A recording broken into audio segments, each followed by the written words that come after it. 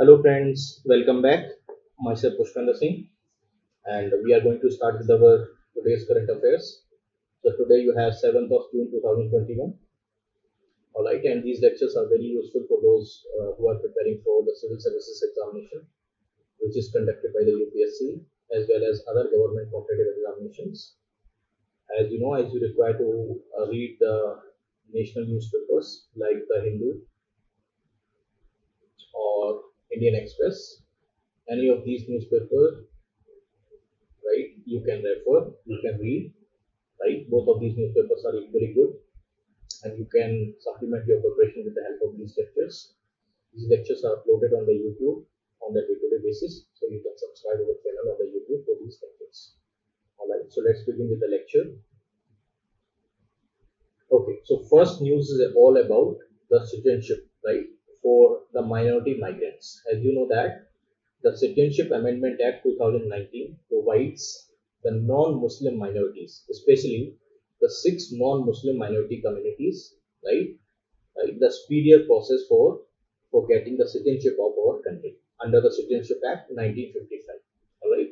So the six non-Muslim minority com communities belongs to the Hindus, Christians, Sikhs, Jains, Buddhists, and Parsis, right, which are persecuted in the neighboring countries, specifically in the Pakistan, Afghanistan, and Bangladesh, right, which are religiously persecuted, right, which are forced to migrate from these countries, from Pakistan, Afghanistan, and Bangladesh, and who came to India for the for the shelter, right, and and started staying in, in our country, right, on the long-term visa, as well as some other, you know, the, in the form of illegal migrants also. So here, those migrants or those, those non six six non-Muslim minority communities, right, specifically the Hindus, Christians, Sikhs, Jains, Buddhists, and Parsis, who came to India on the long-term visa, right, before 2014. That is the cutoff date that was, you know, introduced by enactment of this Citizenship Amendment Act 2019, right? this is the cutoff date, right? Anyone or anyone or any minority community, right, belongs to the Pakistan, Afghanistan, and Bangladesh, specifically these six non-Muslim minority community came to India before that date, okay, will be eligible to apply for the citizenship under Citizenship Act, right, in any part of the country, right. This statement came from the Ministry of Home Affairs, Government of India. So here are the six communities that we are referring, basically the Hindus, Christians, Sikhs, Jains, Buddhists, and minor Parsis. As you know that in the Pakistan, Afghanistan and Bangladesh, all three countries are the Muslim majority countries, right? Predominantly the population profess the Muslim or, you know, the Islam as a religion. But here the Hindus, there the Hindus, Christians, Sikhs, Jains and Buddhists and Parsis are basically all are considered as a minority community. Okay. As you know that citizenship is basically the, the central subject. So it comes under the home ministry subject. Okay. So here home ministry is basically the parent ministry for the purpose of any matter related to the citizenship. Okay, the Home Ministry or Union Home Ministry can delegate its powers to the state for the purpose of this enactment of this legislation. It can delegate, right? It depends on the you know situation. So here that is that we are talking about the Citizenship Amendment Act. The Citizenship Amendment Act 2019. You can call it as a CAA. You can call it as CAA. You might have seen also these protests across Delhi across the country. Okay, so here, here what we are talking about the official which asserted that this particular awareness drive is not related to the Citizenship Amendment Act, but that is something which is related to those you know uh, those uh, people who came basically you know uh, from the long-term visas, but it is not something intended to give the benefit to the undocumented illegal migrants, right? Which have no documents with them and which are illegally entered in our country. So as this statement came from the Ministry of Home Affairs, the official from the Ministry of Home Affairs. The cutoff date basically for the persecuted minorities are December 31st, 2014. Okay, as you know that the Citizenship Amendment Act is yet to come into force because you need to frame the rules for the purpose of the amendment or for the purpose of you know uh, the implementation of that particular law. But no such rules have been formed till now. So this CAA has yet to come forth. That means it has not yet came into force in the Indian context. Okay, now, now let us let me give you a brief background about Citizenship Amendment Act. So this Citizenship Amendment Act 2019 that we are talking about is basically, you know, uh, is basically amend the definition of the illegal migrants. Okay, illegal immigrants. The immigrants, what we are talking basically those people who came from another country to the India. That is called immigrants. I double M I G R A N T S, right? So these illegal immigrants basically consisting of the Hindus, Sikhs, Parsis, Buddhists, Christians, right? They basically came from the Pakistan, Afghanistan, and Bangladesh, and uh, who is basically staying in our country, right, with or without documents. If they came with with documents, say long-term visas, they continue to stay, right, and they will be granted the fast track, fast track Indian citizenship in just six years. In just six years okay so that is the procedure that has been given under the citizenship amendment act that the fast track you know the getting of this indian citizenship they can get in just six years so you know uh, under the indian citizenship act 1955 which is basically you know the parent law or parent act citizenship act 1955 which provides right the different form or different ways by which you can get the indian citizenship as well as you can renounce the indian citizenship here one way is by naturalization. So this is one way through which you can get it, the Indian citizenship. So here, if you want to get the naturalization certificate or the citizenship through the naturalization certificate, you have to stay in India for 12 years, right? That is the standard eligibility requirement for the naturalization. But instead of 12 years, now you just require the six years, right? That is a fast track approval of your citizenship in our country. So this legislation applies to those who are forced or compelled to seek the shelter in the country due to the persecution on the grounds of religion. Okay, so it it it uh, or this act aims to you know protect the people from you know some sort of a uh, you know the proceedings or illegal proceedings from some sort of illegal migrations, right? So its cutoff date for that uh, for that people is basically 31st of December 2014, right? That is the date. That means the applicant should have entered in entered into the India on and before इससे पहले आना चाहिए इससे पहले आना चाहिए इस date पे इससे पहले that is the cutoff date okay now there is lot of suspicion specifically in the northeast india right but you must understand the citizenship amendment act won't apply to those areas which comes under the six schedule areas of the constitution okay as well as it will also not apply to to some parts of the Assam also. But there is, you know, outrage specifically in Assam. It is because of the protests stem from the fear that the illegal Bengali Hindus migrants from Bangladesh, right, uh, you know, they could get the fast track approval of those citizenship of India, right, and that could basically, you know, uh, change the culture and the linguistic identity of the state. That is the only, you know, the point to be contention over there in the state of Assam, in the state of Assam. All right.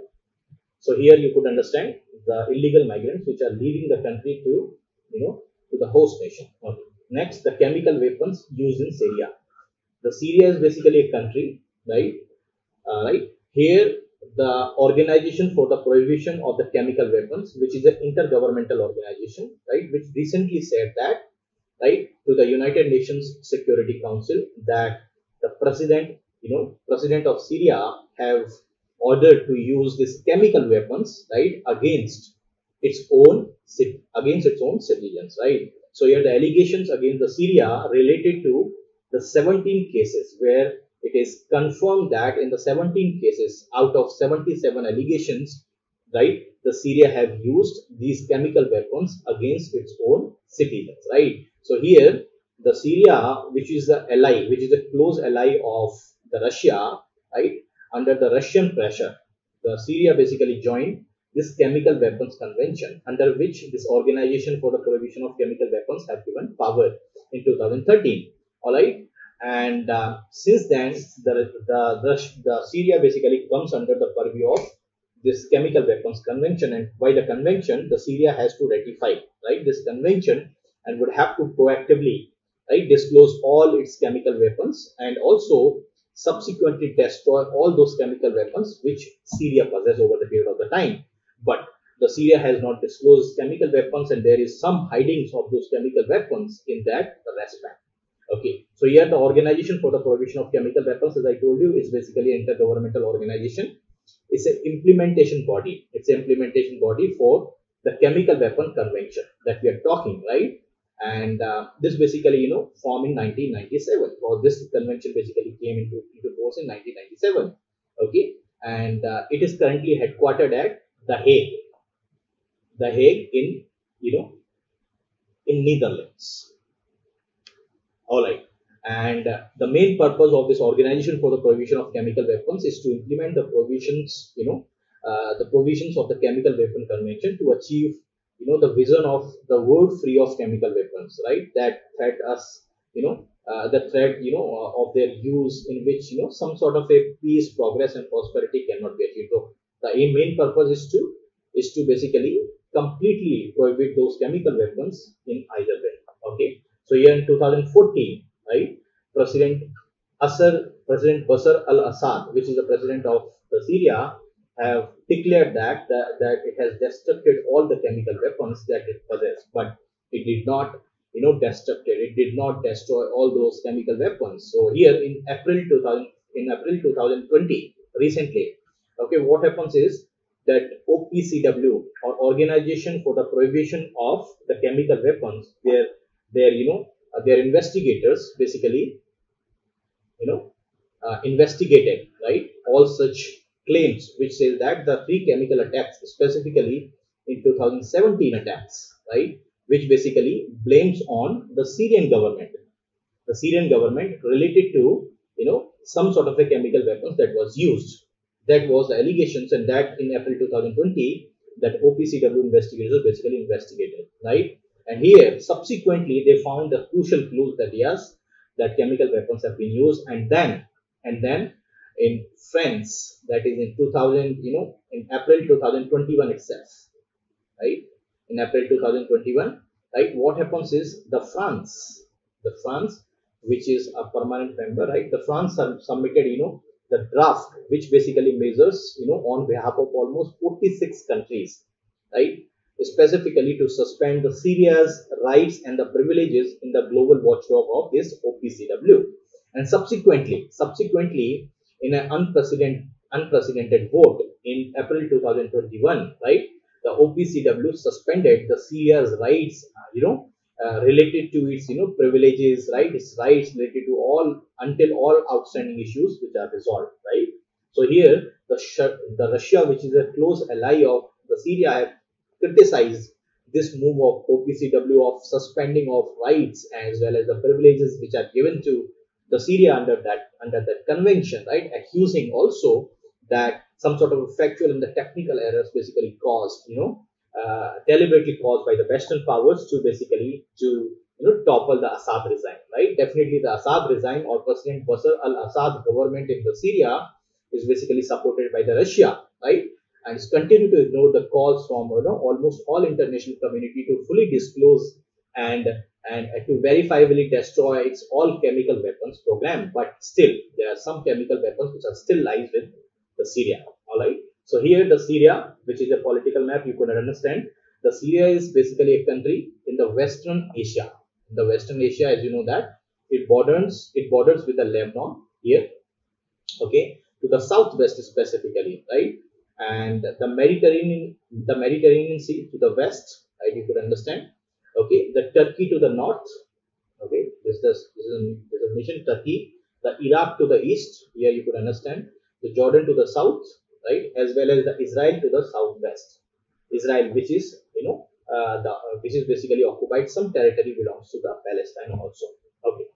Next, the Rule 80A of the Central Civil Services Pension Rules. So, Central Civil Services Pension Rules basically governs the pension related provisions to the retired employees of the civil services. All right.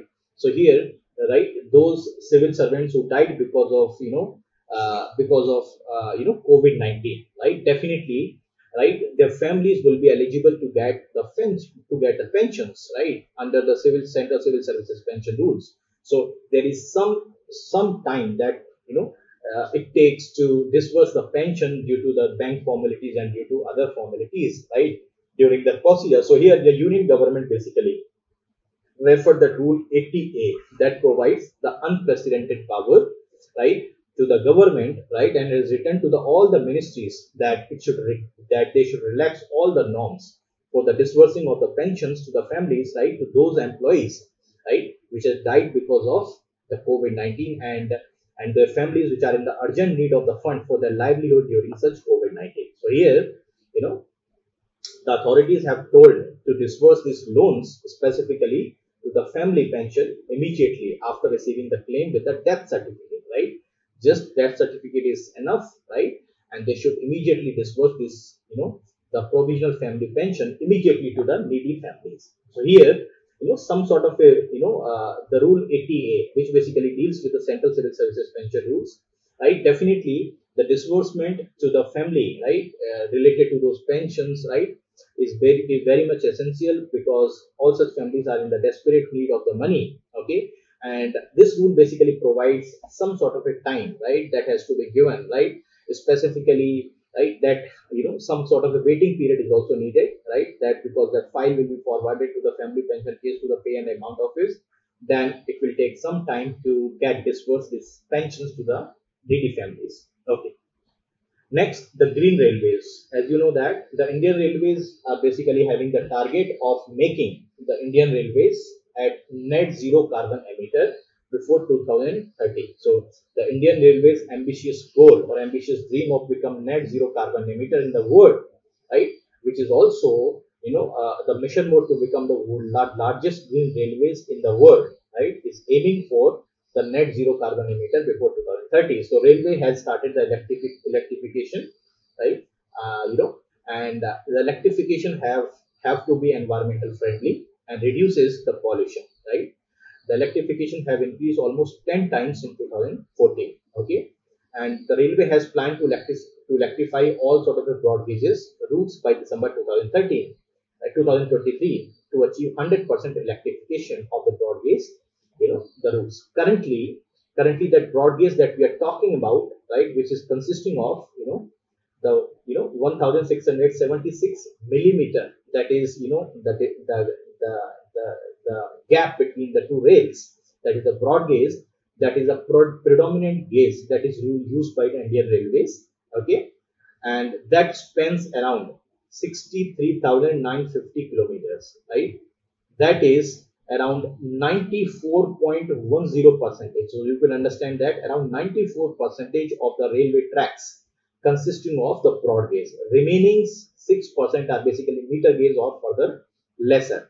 So the government of India or the railway ministry is planning to have this this broad gauge 100% broad gauge route by 2023 from this uh, from this 94.10% that was there on 31st March 2020 2020 right? So this broadest gauge is basically used across the world for the regular passenger movement including in our country also. So here the regarding green certification the 19 railway stations have already achieved the green certification that is under you know three railway stations got this green certification under the platinum category six have got the gold category you know uh, the green certification and six have got the silver ratings related to the green certification rating. Okay.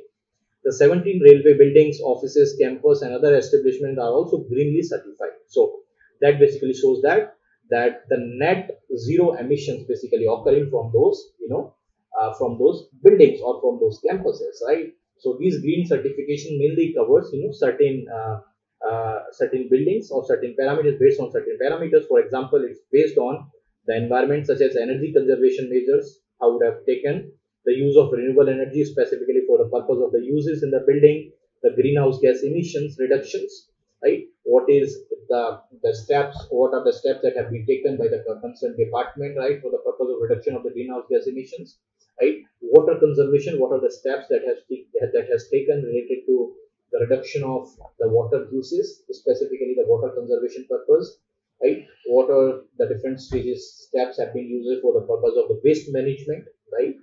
The material conservation, the recycling, all such parameters are basically have been taken before the green certification certificate have been given to the concerned stations or concerned buildings. So definitely a green building is something, right? Or green building is a building which basically conserve the energy, right? Which reduces you know, some sort of a greenhouse gases emission. The greenhouse gases emissions basically consisting of the carbon dioxide, methane, the nitrous oxide. These are the prominent greenhouse gases. So definitely a greenhouse, uh, you know, a building is something that basically reduces the greenhouse gas emissions, uses the renewable energy as much as it can. Okay, and it will have certain all all sort of energy conservation practices recycling of those waste right? Waste management water conservation everything is related to you know conservation aspect right? Reduce reuse and recycle principles all right. So here next the national pharmaceutical pricing authority. The national pharmaceutical pricing authority as you know that is a government regulatory agency okay that controls the prices of the pharmaceutical drugs in our country so what is happening is that due to the COVID-19 pandemic, right, many, many of the retailers specifically, right, they are getting huge margins specifically in the oxygen concentrators, which are the vital for the purpose of safeguarding the human lives. So there is a huge margins specifically, you know, at the level of the distributor level that is 198 percentage. So you can understand that the margin of 198 percentage is a huge margin, right? And that has led to again the rising of the prices of the oxygen concentrators in our market. So there is obviously the volatility in the maximum retail prices in the oxygen concentrators in our country, right? And here the government has decided to step in, right, to regulate the prices of the oxygen concentrators with the help of the National Pharmaceutical Pricing Authority. Definitely, right, this volatility in terms of prices, right, have shot up the prices of the oxygen concentrators. That will basically, you know, very, very difficult for the people to uh, to access those oxygen concentrators in the absence of the reasonable prices. So here maximum retail price that we are talking, right, is basically a manufacturer, is a basically a manufacturer, you know, calculate that price, that is the highest price that can be charged for the product that is sold in India, right? But retailers may choose to sell this project that is, you know, even lesser than the maximum retail price. So no one can be allowed to charge more than this maximum retail price or MRP. That is the beauty of this MRP tag.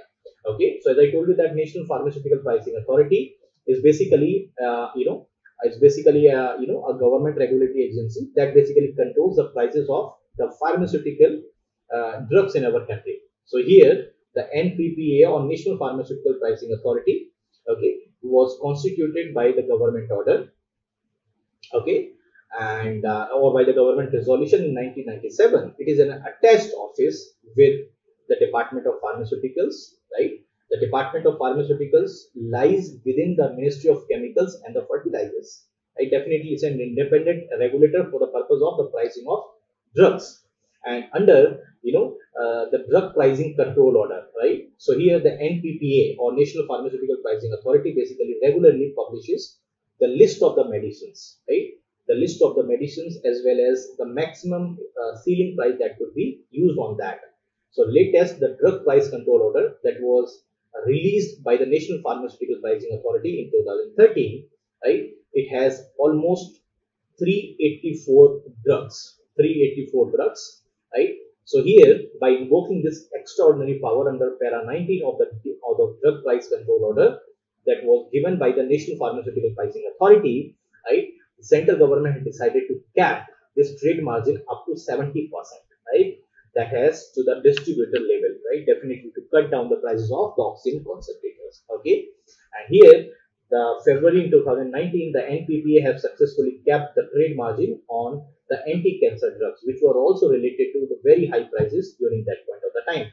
Regarding NPPA, I have given you that it's an independent regulator for the purpose of regulating the prices of the drugs in our country, right? And it was constituted by the government resolution in 1997. Okay, and it comes under the ministry it comes under the ministry of chemicals and the fertilizers. Definitely it's an attached office with the department of the pharmaceuticals. And definitely nppa regularly publishes the list of the medicines right? That is in the form of the drug price control orders. And basically administer this drug price control order for that purpose and is a headquartered in new delhi. All right? Next you have basically anirudh you know jugnauth the Anirudh Jugnauth is basically uh, uh, was basically a person who was the Mauritian the Mauritian politician, right? Uh, and he was also served as the president and the prime minister of the Mauritius, which is a country, which is a country or which is an island nation. Okay. Now, recently the Anirudh Jugnauth have recently died, right? And President Narendra Modi, sorry, the Prime Minister Narendra Modi have, you know, have condoled the demise of, you know, the Anirudh Jugnauth. So Anirudh Jugnauth was basically a Mauritian politician he was also served as a president and the prime minister of the Mauritius. Okay, and he was also honored with the Pravasi Bharatiya Samman Awards. These Pravasi Bharatiya Samman Awards, right? Uh, basically, you know, uh, he was supported for his continuous support for India's cause and the concerns, and also for the purpose of the bilateral relationship with the India and the Mauritius for the purpose. So here, the Pravasi Bharatiya Samman Award that we are talking is a award that has been constituted by the Ministry of Overseas and, and Indian Affairs, Government of India. Okay, in the conjunction with the in the conjunction with the Pravasi Bharatiya Divas, right, which has been celebrated on that day, right, you know, the great Pravasi, the Mohan, the Mohandas Karamchand Gandhi or you know, Bapu have, you know, returned to India, right? In that auspicious occasion, we have decided to celebrate this Pravasi Bharati Divas. So here, the Pravasi Bharati Samman is an award which is constituted by the Ministry of Overseas Indian Affairs in the conjunction with the Pravasi Bharati Divas to honor the exceptional and, you know, uh, the meritorious contribution that has been provided specifically by those uh, the people of Indian origin in their chosen field in their profession, right? And this award is basically conferred by the President of India, right? And Mr. Anirudh Jugnauth was also awarded the Padam Vibhushan, right? In India, that was in 2020 for his outstanding, you know, contribution to the India and Mauritius relationship. So as I told you that Mauritius is basically an island nation in the Indian Ocean region, and it is around 2,000 kilometers off the northeast of the southeast coast of the African continent right? It lies to the east of Madagascar. If you see the political map, you could easily find out, right? It includes the, some of the islands. So it's, it's an island territory, it's an island nation, right? It includes some of the islands like, you know, the Mauritius Island, right? The Rogues Islands, the Agalega Islands, and the Saint Brandon Islands also, right?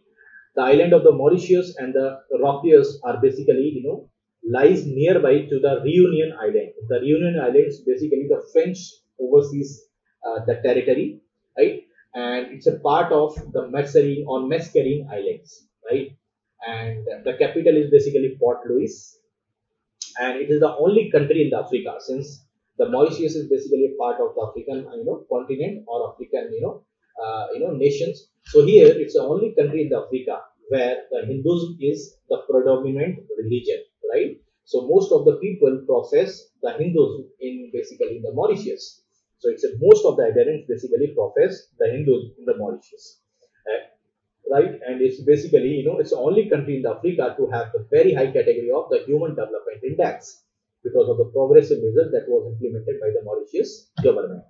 Okay, and here in the in the 22nd May 2019, the United Nations General Assembly also passed a resolution, adopted a resolution that confirmed that the Chagos Archipelago, the Chagos Archipelago right which is a which is a consisting of the islands specifically in the indian ocean region right?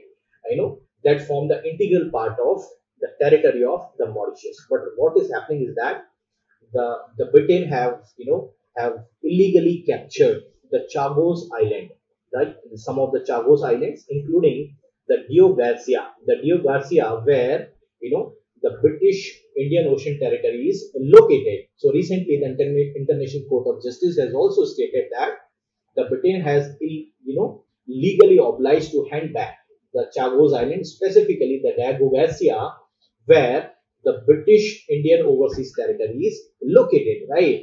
And um, it is basically a militarized atoll, right? Just lies to the south of equator, specifically in the central Indian Ocean region, right?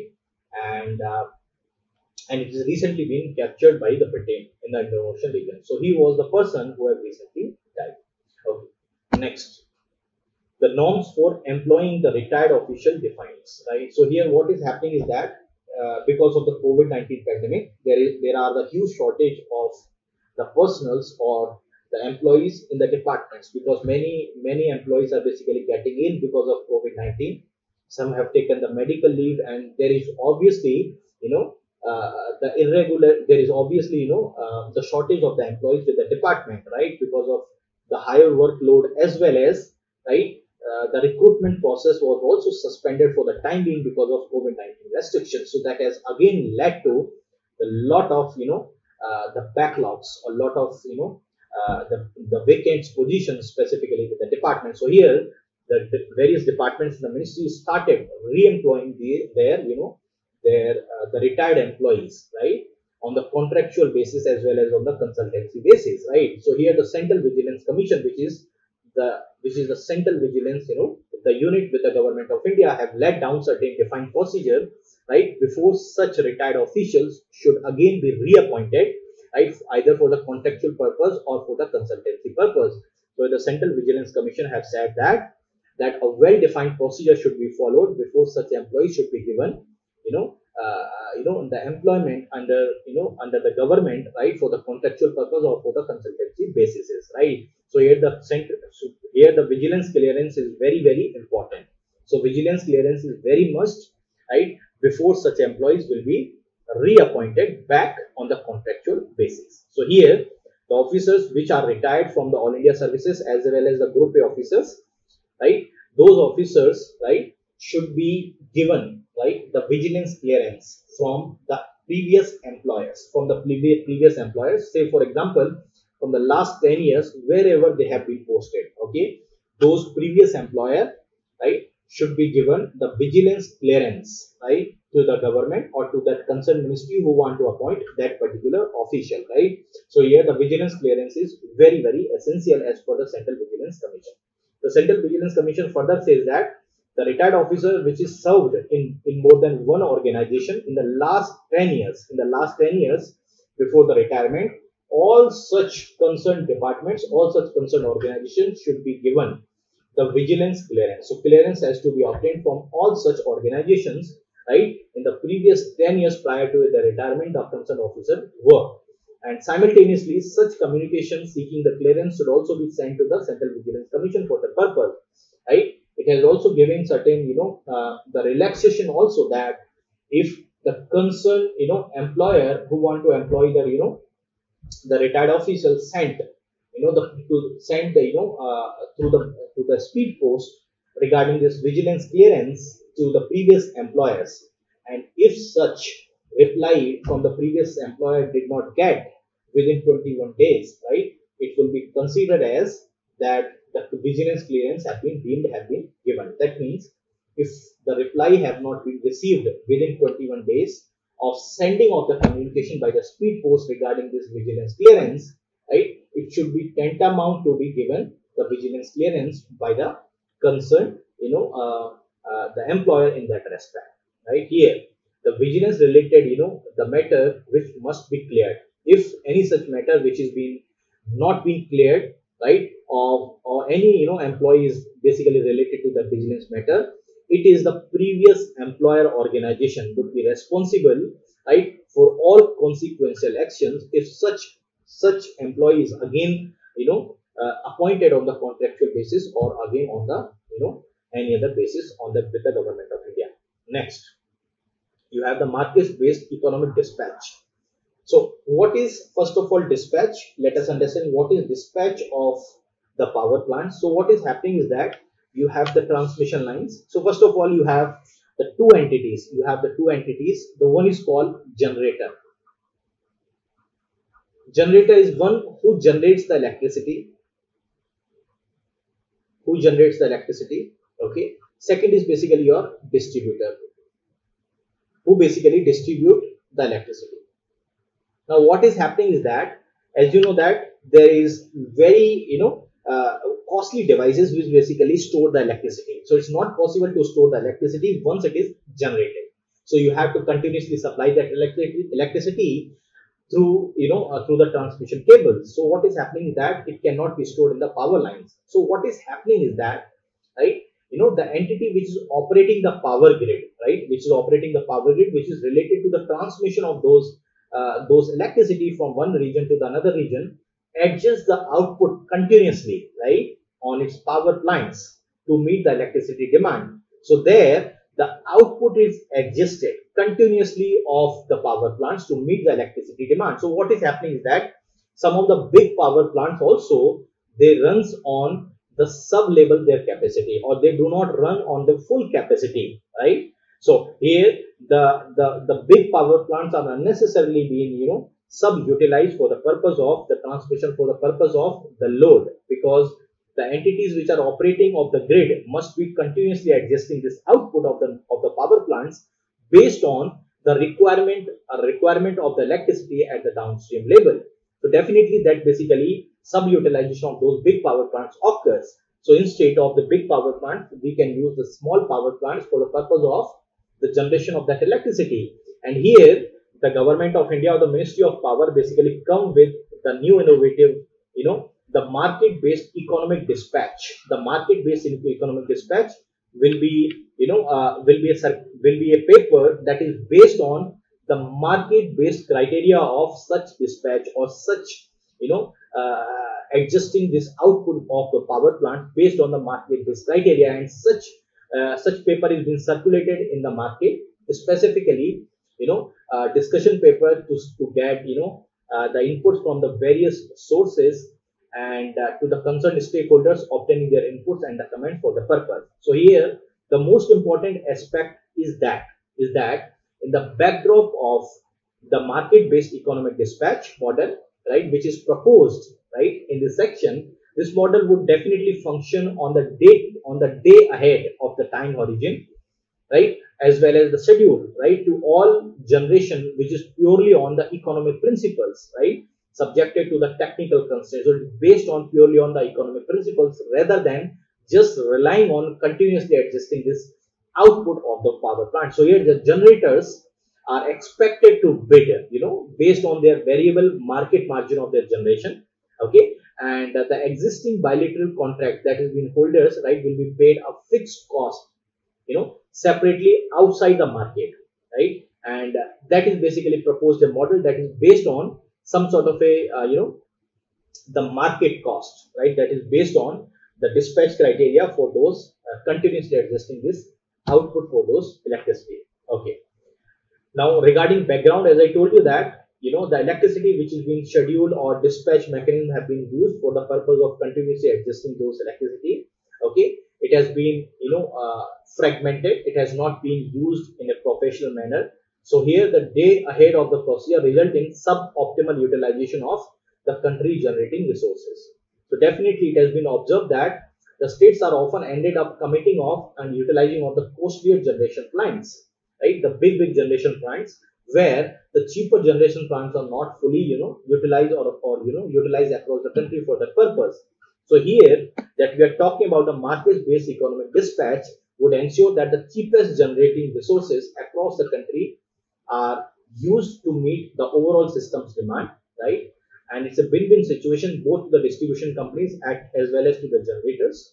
And that will also save the huge amount of the money, right? Annual saving that is around you know 12,000 crores of the rupees that will be saved for the purpose of you know, uh, by using such type of market-based market-based economic dispatch criteria. And it will also facilitate the larger integration of the variable renewable energy, right? And uh, it is based on, you know, one nation, one grid, one frequency, and one price framework adopted by the government of India for that purpose. Okay. Next, the National Council of the Science Museums. Okay, the National Council of the Science Museum is a is a basically as a premier institution right, in the field of science communication. Okay, it's an autonomous organization uh, under the Ministry of Culture. It's an autonomous organization under the Ministry of Culture. Okay, so as I told you that it is basically a premier institution in the field of communication or the science communication. So recently, right, the National Council of Science Museums started collaborating with the Science Museum Group London for the purpose of the exhibition. That is the hunt for the vaccine.